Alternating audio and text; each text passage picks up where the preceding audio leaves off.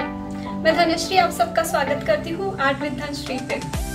और आज हम लोग बनाएँगे एक बहुत ही यूनिक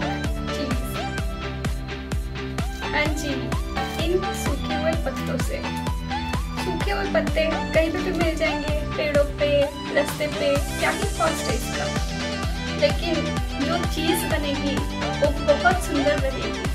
आप लोगों को बहुत अच्छी लगेगी। एक्साइटेड हो? तो आइए, देखते हैं।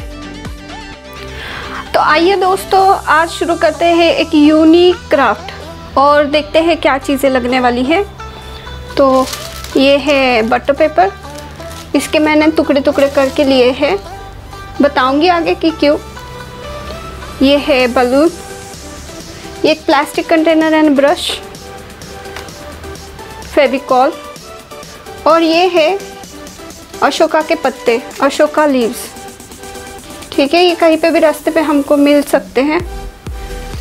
इनको मैंने छोटा छोटा काट के लिया है इन पीसेस और थोड़ा सा पानी जो हम मिलाएँगे फेविकॉल के अंदर। तो आइए दोस्तों, शुरू करते हैं।